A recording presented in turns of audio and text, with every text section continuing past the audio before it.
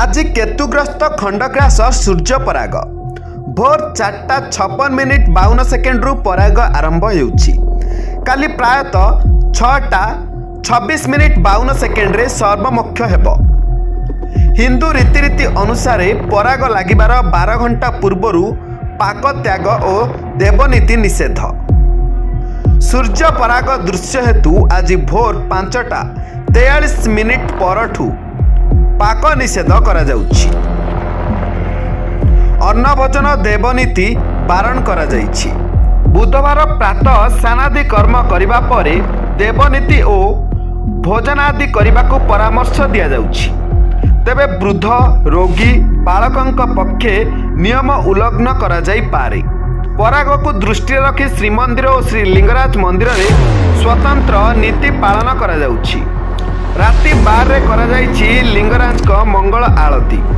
ରାତିରେ ଠାକୁରଙ୍କ କୋଠଭୋଗ ସହ ଅନ୍ୟାନ୍ୟ ନୀତିକାନ୍ତି କରାଯାଇଛି। ଭୋର ଚାରିଟା ତିରିଶ ସୁଦ୍ଧା ସମସ୍ତ ଦେବନୀତି ଶେଷ ହେଉଛି। ସେହିପରି ପୁରୀ ଶ୍ରୀମନ୍ଦିରରେ ସେହିପରି ପୁରୀ ଶ୍ରୀମନ୍ଦିରରେ ରାତିରେ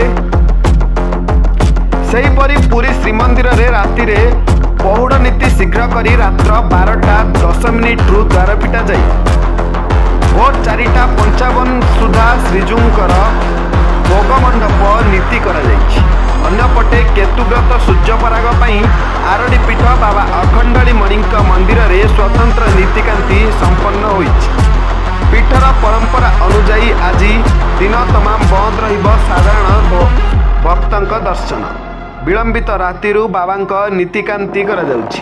ବାବାଙ୍କୁ ଯୋଗାବେଶରେ ସଜ୍ଜିତ କରାଯାଇ ଖେଚୁଡ଼ି ଅନନୀତ ଲାଗି ଅର୍ଥାତ୍ ଅନ୍ନନୀତି ଲାଗି କରାଯାଇଥିଲା। ମନ୍ଦିରର ପରମ୍ପରା ଅନୁଯାୟୀ ପାକତ୍ୟାଗର ନିର୍ଦ୍ଧାରିତ ସମୟ ଚାରିଟା ଚଉବନରେ ବାବାଙ୍କୁ